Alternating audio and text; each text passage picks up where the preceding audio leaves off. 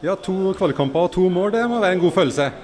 Ja, det er alltid kjekt å skåre mål, men eh, det der var, var mer Mike sitt mål enn en mitt. Han gjør et eh, strålende forarbeid, så jeg har bare å sette han inn. Men det 2-0-målet så nesten ut til å være det dummeste vi gjorde i dag?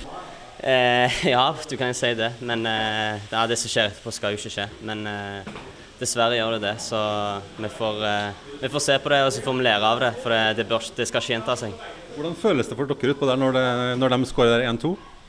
Nei, det ble jo et uromoment. Det er ingen, ingen tvil over det. Eh, de har mye ball og vi blir springende litt etter. Men eh, ja, i dag eh, er det bare en lettelse at vi er videre. Ja, For vi er videre, og vi, vi lærer av alle erfaringer? Ja, ja, selvfølgelig. Det gjør vi. Jeg har lært utrolig mye på veien i Europaligaen i fjor og disse to kampene. Det, det handler om, om kynisme, og vi skal ikke slippe inn de tre målene vi gjør. Og, men vi skårer mye mål òg, det gjør vi? Ja, det gjør vi. Det er jo utrolig positivt. Så det er jo i hvert fall én ting vi kan ta med oss videre fra denne kampen her. Hva tenker du om neste runde mot Apol?